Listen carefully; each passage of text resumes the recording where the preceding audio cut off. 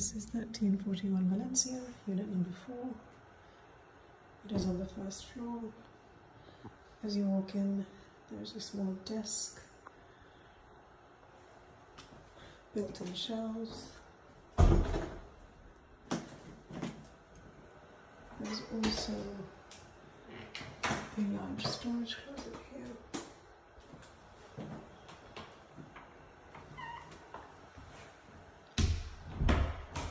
This the main living area.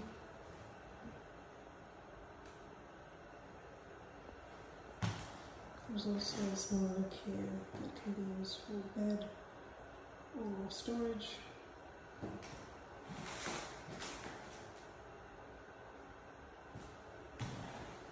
This is the bathroom, shower and tub.